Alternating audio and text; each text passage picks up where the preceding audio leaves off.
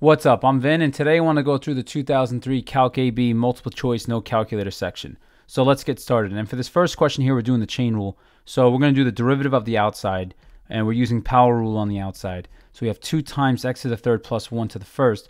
But now we keep the inside the same, and then multiply by the derivative of the inside, which is 3x squared. So another power rule. And now just multiply 2 times 3x squared to get 6x squared, and keep the stuff in parentheses intact. And you have x to the third plus 1. So this is going to match up with choice E. For question two, we can do a U substitution, but it really helps to have this formula for the AP test. So when you have e to a constant times x dx, you can skip the U sub process and just write 1 over the constant times e to the constant times x. And if this was an indefinite integral, we would have to write plus c. But for this one, it's a definite integral, so we're going to use the fundamental theorem of calculus. And in this case here, if we pay careful attention, k is equal to negative 4. So once again, we could skip u sub and just use this formula. This is 1 over negative 4, e to the negative 4x, and we're evaluating this from 0 to 1. So one thing I like to do is anytime there's a constant in front of my function, when I plug in the upper lower limits and subtract, I like to write the constant on the outside. And just know 1 over negative 4 we could write as negative 1 fourth like this. And when we plug in, we're going to have e to the negative 4 times 1 minus e to the negative 4 times 0 is just going to give us e to the 0. So now we'll simplify this a little bit more, and I'll write it over here. This is going to be negative 1 fourth times e to the negative 4, and then minus e to the 0 is 1. And notice none of the answers are factored, so we have to do a little bit of algebra here. We're going to distribute. And this is looking like it's going to be choice D, just by seeing how this distributes. If I do negative 1 fourth times negative 1 first, that's going to make positive 1 fourth. And then if I do negative 1 fourth times e to the negative 4, that's going to give us minus e to the negative 4 over 4. So this definitely matches choice D. For question 3, we have to know the limit definition of a horizontal asymptote. But just in case you forget that definition, what does it mean for a function to have a horizontal asymptote at y equals 2? Well, that means that the function is going to get closer and closer to this line without quite crossing it as x goes to infinity. So in the long run, the end behavior is that the function gets closer to the line y equals 2. So looking at this, this would tell me if I had to write an actual limit for this, is that the limit as x goes to infinity, as we go all the way to the right, or we could be going all the way left, but the limit as x goes to plus or minus infinity of our function f of x is approaching 2. And right away that matches up with choice E. For question 4, you have to know the quotient rule. So we have u over v prime is equal to vu prime minus uv prime over v squared. So if we call the top function u and the bottom function v, the derivative, and I'll just write this as y prime, is equal to v, that's the bottom function. So you have 3x plus 2 times the derivative of the top function is just 2. And then minus, we have the top function 2x plus 3 over the derivative of the bottom function is 3. And then we divide all of this by the denominator squared. So we have 3x plus 2 squared like this. So the rest is going to be algebra. We're going to distribute the 2 and we're going to have 6x plus 4. And then here, just be careful. We have to distribute the 3 and the minus. So I think of this as distributing a negative 3. So what we would have is if we do 3 times 2x, we're going to have 6x, and then 3 times 3 is 9, but I'm going to distribute a minus 2. So I'm going to have minus 6x, and then I'm going to have minus 9 all over 3x plus 2 squared. And we'll make this a little bit darker. So now 6x minus 6x is going to cancel. And you can see here 4 minus 4 minus 9 is going to give us negative 5. So we have negative 5 over 3x plus 2 squared. And that's going to correspond to choice D. For question 5, we have to know the fundamental theorem of calculus. So the antiderivative of sine x is negative cosine x. So we have negative cosine x. And we're evaluating this from 0 to pi over 4. Now, just in case, if you forget the antiderivative of sine, you could always check your antiderivative by taking the derivative and seeing if it brings you right back to the integrand. So if we take the derivative of cosine, we get minus sine. So minus minus sine is sine x. So that's a good sign for us. So what we have is we're going to take the negative in front, and I'm just going to treat that as a negative 1. And I'm going to write the constant on the outside. And then we're going to do cosine at pi over 4 minus cosine of 0. So once again, anytime I have a constant, especially a negative constant, I like to write it on the outside. Then I plug in the up, upper and lower limits and subtract them. So now I'm going to write the rest over here. We have negative 1 times cosine of pi over 4 is square root 2 over 2. And then minus cosine of 0 is 1. But when we distribute the negative 1 here, this is going to give us, we'll have negative root 2 over 2 plus 1, and this looks like it's going to correspond with choice D. So for question 6, we're taking a limit as x goes to infinity, and we have a rational function here. And when you're taking limits at infinity, plus or minus, the leading terms are the most important ones, and that's not necessarily the first term. It's the power of x that has the greatest power on top and bottom. So you could just eyeball this and see like, all right, this is going to be 1 over 4 and it's choice C. But if you want to show a little bit more work, you could take a new limit as x goes to infinity of just the leading term on top, x to the third, over the leading term on bottom, which is 4x to the third. And you can see here that x to the third and x to the third cancel out, leaving you with the coefficients in front, which on top you have a 1 and on bottom you have a 4. So definitely choice C. For question 7, we have a graph of f prime, and we want to make a true statement about the function f of x. Now, the most common mistake with these questions is people look at this and say, all right, this graph is increasing from 1 to 2, so f must be increasing from 1 to 2, but that's a very dangerous trap. What I notice for questions like this is that if this is a graph of f prime, I notice this part of the graph that I'm highlighting in purple is positive. So in this portion of the graph from negative 2 to 0, f prime is greater than 0 because the graph is above the x-axis, which means f is increasing. So we have to know the meaning of the derivative for a question like this. And then for this portion of the graph here, from 0 to 2, we could see that the graph is negative. So from 0 to 2, the graph of f prime is less than 0, so that means f is decreasing. And now we just look to the answer key and see if any of these match up. And notice here that we have f is increasing from negative 2 to 0, so this is definitely going to be choice B. For question 8, we have to know how to do u substitution. So we're going to say u is equal to x to the third. And then the derivative, we have du is equal to 3x squared dx. Now there's a number of ways you could proceed from here, but a lot of students favor solving for dx. So I'm going to divide both sides by 3x squared. And that's going to tell us that du over 3x squared is equal to dx. So these are two very important pieces. This one here and this one here. So now what we do is we're going to transform this integral. We have the integral, and for a moment I'm going to write an x squared. But now we're going to have cosine of u. We're replacing x to the third with u. And dx we solved for is du over 3x squared. And if you do the u sub correctly, the x terms are going to cancel out completely, and your new integral is going to be in terms of the new variable u. So now notice I have a 3 in the denominator, so this I could write outside of the integral as a 1 third, and I have the integral cosine u du. So then from here, I just have to say what's the antiderivative of cosine u, and that's going to be sine u, and we tack on the plus c at the end. And now just substitute back in. u we define to be x to the third. So there's going to be 1 third x to the third plus c, and this is going to match up with choice B. Question 9 is chain rule, and just know the chain rule is going to show up a million times on the AP test. So make sure you're awesome at the chain rule. And if you want to know the chain rule variance, especially for natural log of f of x, anytime you take the derivative of natural log of a function, it's 1 over the function, and then the derivative of the function goes on top. So when I look at something like this, after doing a million of these, you just say, all right, the inside x plus 4 plus e to the negative 3x.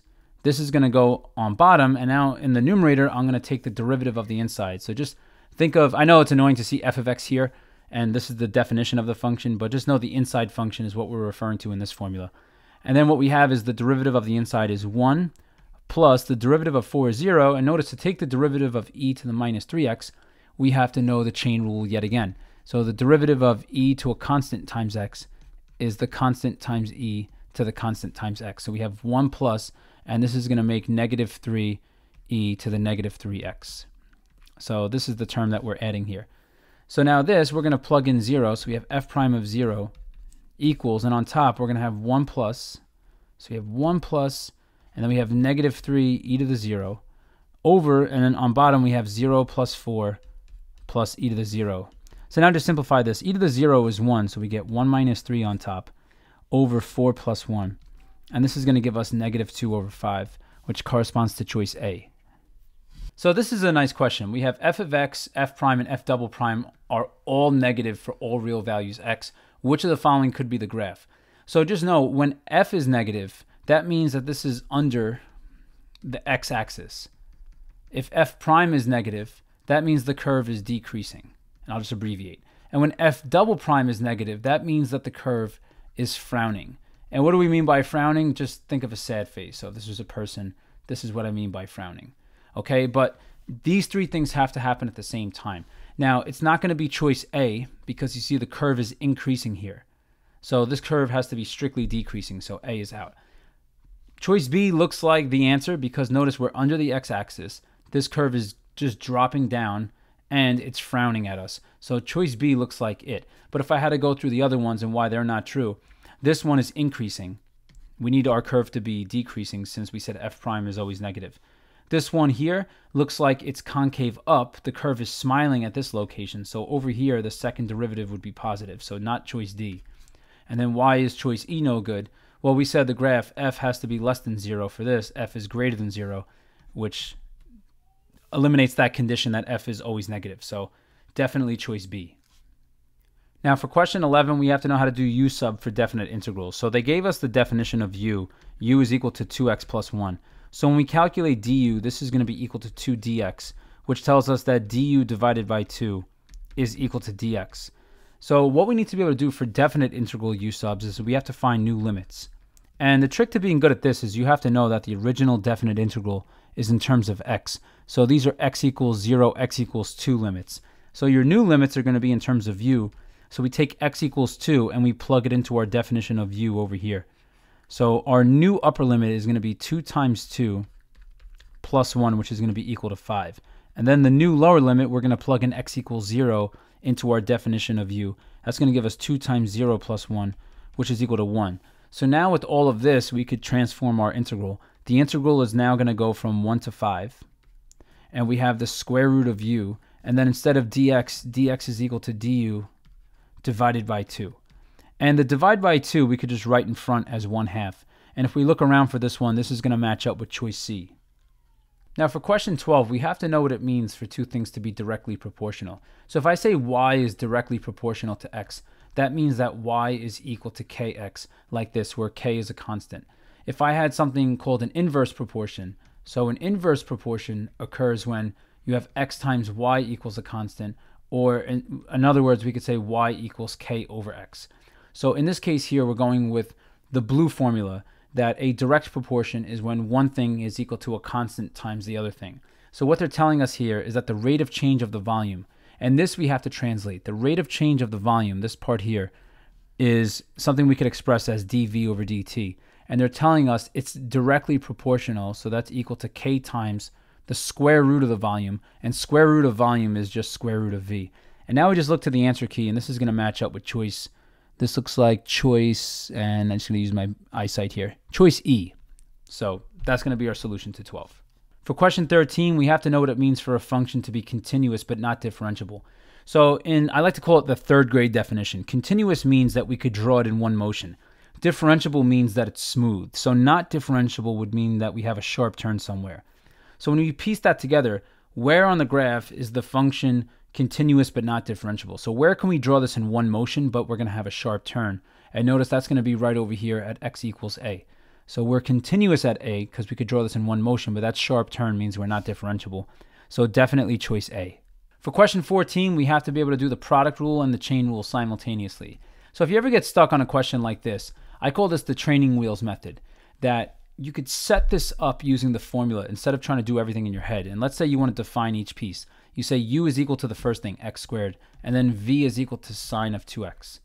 So now we're going to find u prime, which is equal to 2x, and then v prime is equal to the derivative of sine 2x. And just know anytime you're taking the derivative of sine times a constant times x, it's going to be equal to the constant times cosine of the constant times x. So here, this is going to be equal to 2 cosine of 2x. So we're doing the derivative of the outside is cosine, keep the inside is 2x and the derivative of 2x is 2. So now we just apply the formula. So the formula here says that it's equal to u prime times v plus u times v prime. So this derivative we'll write over here is going to be equal to 2x sine 2x and then plus 2 times x squared is 2x squared and then cosine of 2x. So now we just have to look for this and it looks like this is going to be factored. So I'm just going to do one more step of algebra. We factor out a 2x. We're going to have sine 2x left plus x cosine 2x on the inside when we factor out a 2x from 2x squared. And now we go looking for this, and this looks like it's going to match up with choice E. For question 15, we're looking for where f of x is decreasing. And when I hear that phrase, f of x is decreasing, the first thing that comes to mind is that f prime of x is less than 0. So if we want to find out where our derivative is less than 0, first we have to find the critical points. And I'll just abbreviate that over here, CP for critical points. And it's going to be x equals, and just know the sneaky critical point is where the first derivative is undefined. And notice if x is equal to 0, the whole first derivative is undefined. So I'm just going to write the, uh, the sneaky critical point here first. And now the more obvious one is when we set f prime of x equal to 0. So if we set x squared minus 2 over x equal to 0, we could do the algebra here. We can multiply everything by x, and that's going to give us x to the third minus 2 is equal to 0. And if we do the rest of the algebra, we have x to the third equals 2, which tells us x is equal to the cube root of 2. So that's our other critical point here. And what makes this a little bit annoying is that we don't know the domain of the function f. If they said f is defined for all real numbers, then this is definitely a critical point. But what we have to do is when we make the sign chart, we have to consider the possibility that there is going to be a change around zero. Because if we ignore the zero here, this could be one of those sneaky answer choices that throws us all off. So we have zero and cube root two. So now we're going to plug in test values to the derivative before zero between 0 and cube root 2, and then after cube root 2. So if you plug in something like, let's say, negative 1, f prime of negative 1, if we plug in, is going to give us negative 1 squared minus 2 over negative 1. And now we have 1 plus 2, which is going to be positive. So that means f is increasing from negative infinity to 0. But now let's see what happens when we plug in something between 0 and cube root 2 like 1. This is going to give us 1 squared minus 2 over 1, which that is going to be 1 minus 2, which is negative 1, which is less than 0. So we're negative on this interval. And now if we plug in a number greater than cube root 2, let's say we plug in a number like 2 to our first derivative, we're going to have 2 squared minus 2 divided by 2. And this, if we work this out, is 4 minus 1, which is 3, and 3 is greater than 0. So notice if we had not considered 0 and just plugged in 1, we would fall into the trap of saying that this function here is going to be decreasing from negative infinity to cube root 2. Even though that's not an answer choice, it's just good practice to show all this work. But notice the function is decreasing, and we're going with choice D here, from 0 to cube root 2. For a question like 16, I like to draw these out to make sense of them, because sometimes it could be confusing what they're even asking for. So we have the line tangent to the graph of f at the point 1, 7. So 1, 7, I'll just draw something kind of random here. We'll just say 1, 7 is all the way up here. So the line tangent to the graph at this point passes through negative 2, negative 2, which would be somewhere in this range over here. So that means if we connected these two like this, and let's try to draw that a little bit nicer. So here like this, all right, that was a better line. That whatever this curve looks like, let's say the curve looks, I don't know, something like this. That this is the graph of f of x, the line tangent at 1, 7 also goes through the point negative 2, negative 2. So that means what we could do is we could find the slope of this tangent line at x equals 1. So to find the slope here, this is the point 1, 7. We're going to use this formula. The slope is equal to y2 minus y1 over x2 minus x1. So the slope of our tangent line here is going to be 7 minus negative 2 over 1 minus negative 2. And this is going to give us 9 divided by 1 plus 2, and that's going to give us 3. So the slope of this line is going to be 3. And that tells us we have to think about this a little bit carefully. The slope of the tangent line is the value of f prime of 1. So f prime of 1, this means the slope of the tangent line to f of x at x equals 1. And we just found the slope of that tangent line to be equal to 3. So our value here is going to match up with choice C. Question 17 is nice. We have to determine where f is concave down. And notice we're starting at f of x. So we're looking for where f double prime of x is less than 0. And what we have here is we're going to have to do product rule twice. So for the first derivative, let's say I define 2x to be my u term. Then I'm going to do the derivative of 2x is 2 times e to the x. And then I have plus 2x times the derivative of e to the x is e to the x. So that's one round of product rule. But I highly advise for questions like this that don't do product rule right away. I would factor out a greatest common factor first. So we could take out a 2e to the x, and we're going to be left with 1 plus x right after this. So notice when we factor this out, this is what we're left with. So now when we have to do the second derivative, we're doing, this is our new u term. The derivative of 2e to the x is 2e to the x times 1 plus x. And then we have plus 2e to the x times the derivative of the inside is 1. So now from here, we could factor this f double prime of x. We could factor out another 2e to the x power, and we're left with 1 plus x. But then plus, this is the sneaky leftover. So when we factor out a 2e to the x, we're left with 1 plus x here, but here we're left with plus 1. So when we simplify this, this is 2e to the x times 2 plus x. So now when we look at this, one thing that shows up some, well, it'll show up sometimes. Anytime you have to interpret 2e to the x or e to any power, just know e to any power is always positive. So this is always positive. So when you're looking for the root of this, 2 plus x is going to be the only thing that tells you where the second derivative is equal to 0.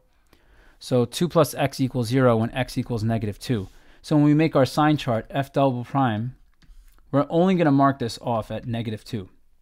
And now a nice number to plug in would be negative 3. And if we plug in negative 3, we have 2 minus 3 is negative. But remember, this is always positive. So you have something that's always positive times something negative. So it's going to be negative to the left of negative 2. And if you plug in something greater than negative 2, like 0, you're going to have something always positive times 2 plus 0. So you're going to have something positive times 2, which is going to be something positive. And remember, we're looking for where the second derivative is negative. So it's going to be when x is less than negative 2, and that's going to correspond with choice A. So for question 18, we're told that g is continuous, that it has exactly two zeros. This is very important. And that the domain is all real numbers for g. And what we're actually trying to find here is where is g decreasing, on which intervals? And what we have is a table of values for g prime. So the fact that we have exactly two zeros, notice that we have a zero at x equals negative 2, and we have a 0 at x equals positive 2. Now, the reason why they told us this is that there's no sneaky zeros anywhere else in this table of values for g prime or anywhere else for g prime. So that means if you were to make a sign chart, g prime, the only roots occur at x equals negative 2 and positive 2. And let's say I test a value to the left, like negative 3. Notice my derivative is positive to the left of negative 2, so I have a positive first derivative. And then between negative 2 and 2, my derivative is negative. And then after 2, the y values are positive again. So what this means is that g of x, and maybe we'll do this in a different color. So g of x starts off increasing because g prime is positive, then it decreases, and then it increases again. So where is g decreasing? It's decreasing between negative 2 and 2 only. So question 19 looks like a differential equation. It's just phrased a little awkwardly. So we're told that the slope is 2x plus 3 at any point xy in the curve. That means that dy dx, that's another, that's another way of saying slope in calculus. The derivative is equal to 2x plus 3 for any point xy on the curve. And we want to know what's the equation for the curve if it passes through the point 1, 2. So this is our initial condition we're going to use. And what we're going to do here is separation of variables. We can multiply both sides by dx. And that's going to tell us, we'll put this side in parentheses, that dy is equal to 2x plus 3 dx. And now to solve for the equation y, we're going to take the antiderivative of both sides. And we're going to have y equals the antiderivative of 2x. We'll have 2x squared over 2, which is just x squared, plus the antiderivative of 3 is 3x. And then we have a plus c at the end. But now this is the initial condition that y of 1 is equal to 2. So if we use that, y of 1 is equal to 1. So we could say 1 squared plus 3 times 1 plus c, and we're told y of 1 is equal to 2, which tells us if we solve this out, and we'll do this over here, that we're going to have 1 plus 3, which is going to give us 4 plus c equals 2, so c is equal to negative 2. So now we could take this value for c and plug it back into this line, and it tells us our equation is y equals x squared plus 3x plus c, which is minus 2, so we're going to have x squared plus 3x minus 2. This is choice D. Question 20 is continuity and differentiability of piecewise functions. So these Roman numeral questions, you just have to go through them one at a time. So the limit as x approaches 3 of f of x exists. This is one of those less than or equal to greater than piecewise functions. So this means we have to check the left side and we have to check the right side. So we won't worry about notation here, but for a limit to exist, the left and right side limits have to match. So if we plug in 3 on the left side, when we're less than or equal to 3, so just be mindful that if 3 is on the number line, when we're less than or equal to 3, notice we're on the left side of 3. So we would have, we'll plug in 3 here. We have 3 plus 2. So the left side limit is equal to 5. But if we plug in 3 on the right side, remember on the right side is when we're greater than 3. So if we want to take the limit as x approaches 3 from the right, we're going to do 4 times 3 minus 7, and 12 minus 7 is 5. So the left and right side limits match, so this limit exists, it's equal to 5. This is definitely true. So this answer choice is out. 2 only is out. And now we have to decide if the other stuff is true. Now notice f is continuous at x equals 3.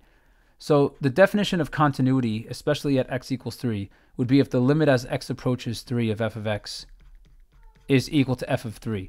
Well, we just found that the limit is equal to 5, but the function value at 3 is determined by the top piece, that if we plug in 3 here, we get 3 plus 2 is equal to 5. So the limit is equal to 5, the function value is equal to 5.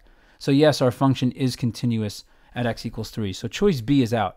So now we've narrowed it down to this, but if we want to determine if our function is differentiable, what we have to do is first we're going to take a derivative of our piecewise function one piece at a time, and the derivative of the top part is equal to 1.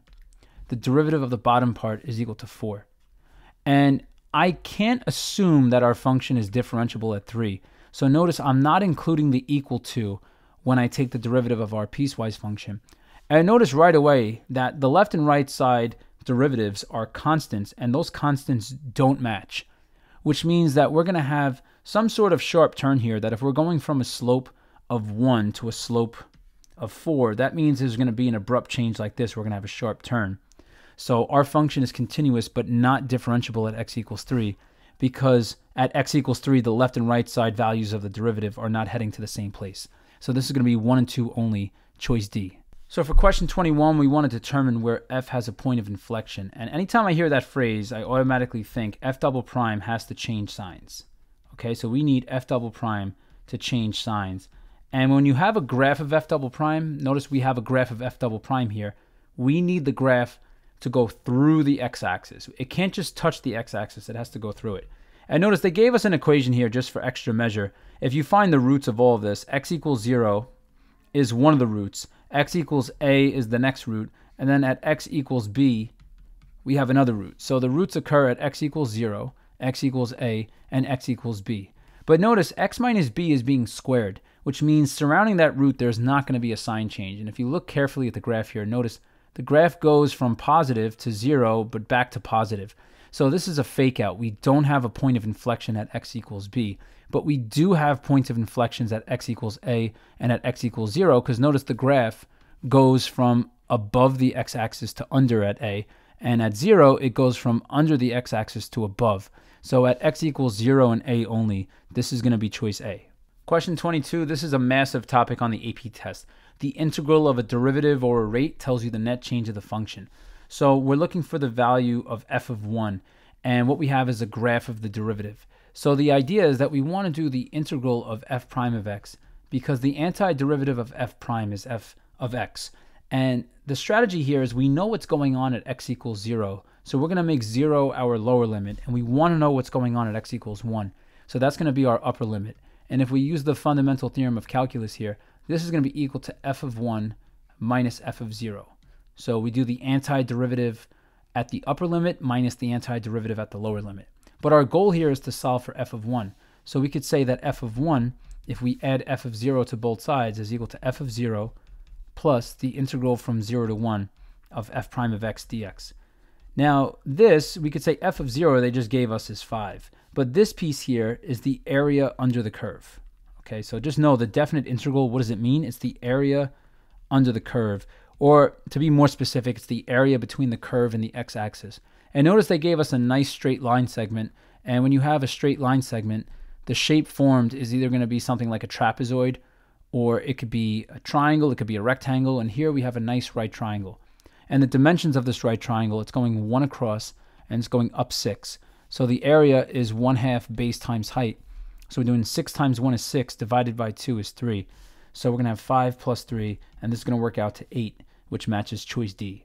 For question 23, don't try to do U sub or something else. You'll lose your sanity. You have to know this formula for the AP test. So this is the fundamental theorem of calculus part two with chain rule. But anytime you take a derivative of an area function where your upper and lower limits are something other than x, and you have some function on the inside f of t dt, this is equal to f of p of x times p prime of x, and then we have minus f of q of x times q prime of x. So this is a real helpful formula to have because in cases like this, see how we're going from 0 to x squared, not just x. What we're going to do is we're going to replace, we have sine of, instead of t to the third power, we're going to plug in the upper limit x squared, but then we have to multiply by the derivative of the upper limit on the outside. So we're going to do times 2x. And technically I could stop here and just simplify, but I'll use everything from the formula. This is also sine of, instead of t to the third power, now we plug in the lower limit 0. But if we take the derivative of the lower limit, we're just going to be multiplying by 0. So this piece is just going to wipe out. So now to simplify this, this is sine of x squared to the third. You just multiply 2 times 3 is 6. So you have sine of x to the 6 times 2x. The 2x we could write in front, and this is going to match up with choice E. Now to write the equation of a tangent line, this is not necessarily what our curve looks like. Two things you have to know is you have to know the point, so you need to have an x and a y, and then you have to have a slope to write the equation of your line. Now just know the y value comes from the function, so we're going to plug in negative 1 to our function to get the missing y value. To get the missing slope, we have to plug negative 1 into our derivative of f of x. And then at the end of this, we're going to use the formula y minus y1 equals m times x minus x1. And remember, the point is the x1, y1, and the slope comes from the derivative, and that's the value we're going to replace over here. So we'll go we'll go ahead and find f of negative 1 first. So this is 4 times negative 1 to the third minus 5 times negative 1 plus 3. And now negative 1 to the third is negative 1. So we have negative 4. Then we get plus 5 plus 3. And I just think of this as 8 minus 4 is 4. So the missing point is going to be negative 1 comma 4. So this is going to tell us the point of our well, our point of tangency. Now, in order to find f prime of negative 1, first we have to find what is f prime of x. And f prime of x, we just do the power rule, is going to be 12x squared and then minus 5. So over here, and we'll just color uh, we'll color coordinate this or color code it. We have f prime of negative 1 is equal to 12 times negative 1 squared minus 5. And 12 minus 5 is 7. So now we use this. This is our slope. And this is our point and we're going to plug that into the point slope form equation over here. So we have y minus, remember this is our x1, y1. So we have y minus 4 equals the slope is 7 times x minus x1 is negative 1. So we do minus minus 1. That's going to make plus 1. And now this is just y minus 4 equals 7x plus 7. We're just distributing here. And then add 4 to both sides. This tells you y equals 7x plus 11. So this is going to be choice C. Question 25, we have a particle motion problem and we're given the position function. And what we want to find here is when is the particle at rest? When a particle is at rest, velocity is equal to zero. And to find velocity, you take the derivative of position. So now we take that derivative, we're going to use the power rule. The derivative of the first term is going to be 6t squared. And now the derivative of minus 21t squared, we're going to have 2 times negative 21 is negative 42. And then we have t to the 2 minus 1. And then the derivative of 72t is just 72, and the derivative of the constant goes away. So now we just have to know uh, a little bit of division here. These numbers aren't the nicest, but we factor out a 6, and we're going to have t squared minus, if we do 42 divided by 6, that's 7, and then plus 72 divided by 6 is 12. And then we're setting this equal to 0. So now we could break this down a little bit more. The quadratic on the inside will factor to t minus 4 times t minus 3 because negative 4 plus negative 3 is negative 7. And when you multiply those two, you get positive 12. And now just find the roots. We just take the opposite of the factors, and it's going to be t equals. Let's try to draw those brackets a little bit better. So you have t equals 3 comma 4, and that's going to correspond to choice E. Question 26 is implicit differentiation with product rules. So what we have here, just know anytime you take a derivative with respect to x of a y term. So that's what we're doing to this equation here, taking the derivative with respect to x. But anytime you take a derivative of a y term, you have to tack on dy dx. So here, the derivative of 3y squared, we're going to have 6y, but don't forget to write dy dx. Or you could write y prime. And then we have minus the derivative with respect to x of 2x squared is going to give us 4x. And then equals the derivative of 6 is 0. And now for this part, this is going to throw a lot of people off, these little sign changes. If you have to use training wheels, there's no shame in this. Let's say u equals negative 2x, because we're using product rule here. And then v is equal to the other term y. So then u prime, the derivative of minus 2x is minus 2, but be careful, the derivative of y is 1 dy dx. So now we apply the product rule, and remember, doing u times v prime plus u prime times v. And now we'll go ahead and do that. So we have 0, and then now we just go ahead and do this. We have 0, and then we do the derivative of this, which is going to be minus 2y. So we do negative 2 times y, and then we have minus 2x times dy dx is minus 2x dy dx like this. Now this is multiple choice. We don't actually have to solve for dy dx and then plug in. We could plug in right now. So we could substitute in x equals 3 and y equals 2. And once again, if this is the AP test multiple choice, time is money. So I probably won't write dy dx. I would probably write y prime. So now I have 6 times y is equal to 2. And sure, we'll go ahead and switch over to y prime since, since we could write that faster minus 4 times 3 equals, and we have negative 2 times y is equal to 2, minus 2 times x is equal to 3, and we'll switch this out with y prime. So now we got 12y prime minus 12 equals negative 4 minus 6y prime. So now we just do a little bit of algebra, and we're going to add the 6y prime to the other side. That's going to give us 18y prime equals, and then you add 12 to the other side, and 12 minus 4 is going to make 8. And now just divide by 18 and simplify. And you're going to have y prime equals, looks like we're dividing by 2 top and bottom. We're going to get 4 ninths. And that's going to match up with choice B. For question 27, we're taking the derivative of an inverse function. g is equal to f inverse of x. So when we want to find g prime, g prime is equal to the derivative of f inverse. And if this was the free response, this would be the nice notation you could use. f inverse prime of x is equal to, and this is the formula to know, 1 over f prime of f inverse of x. If you can't memorize this formula, the way you derive it is you use the definition of an inverse function and chain rule, but it really helps to just show up to the AP test knowing these formulas. So here we want to find g prime of 2. So g prime of 2 is equal to 1 over f prime of f inverse of 2. So what we have to do here to find this, they told us g of 2 is equal to 1. But remember, g is equal to f inverse. So what that really means here is if g of 2 is equal to 1, then f inverse of 2 is also equal to 1. So that's the first thing we could plug in, that f inverse of 2 is equal to 1. So we have 1 over f prime of 1. And notice here, they didn't tell us anything about f prime directly, but they gave us f of x.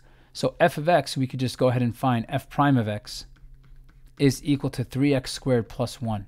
So to find f prime of 1, we just plug in 1 to our derivative here, and we have 3 times 1 squared plus 1, and 3 plus 1 is equal to 4. So this is going to work out to 1 fourth, and this is going to be choice B. All right, last question of the no calculator section. We have g of x where g prime is positive and g double prime is positive for all real numbers x. We're given these two function values, and we want to find a possible value for g of 6. So for a question like this, we have to know what it means for g prime and g double prime to both be positive. And what that means is that our function is going to be increasing and concave up. And what that means is that the slope of our tangent lines are not only going to be positive, but as we move from left to right, the slope of those tangent lines are going to be increasing, becoming more steep. So for questions like this, it's hard to do all that work in your head. So you have to be able to explore these questions a little bit. So if we sketch this out, let's say I plot these two points. So I have g of 4 is equal to 12. And we won't necessarily say this is drawn to scale. This is just to give us the idea. And then a moment later, g of 5, it goes way up here to 18. So now one thing to consider here is that the slope between these two points, see how we're going up six and we're going over one. So right now the slope between those two points is going to be equal to six. But now think about what we said before, that g prime is positive and g double prime is positive, which means as we go on to, let's say the next value here to g of six, that we have to go at a steeper rate than six. Our slope has to be more than six when we go from five to six because we're concave up, the slopes of the tangent lines have to be increasing. So that means a possible value for g of 6, well, g of 6 has to be greater than, we left off at 18, but to get to the next point, we have to be rising and running at a rate greater than 6. So that means that whatever g of 6 is, it has to be greater than 24. And notice all of these answer choices, except choice E, are less than or equal to 24, which means these are all out. Okay, so once again, we have to rise and run at a greater rate than 6 to go from g of 5 to g of 6 because the slopes are increasing. Okay, so the slopes are increasing. Okay, well, this is going to wrap up this no calculator section. Thanks for sticking it out to the end and good luck on your AP test.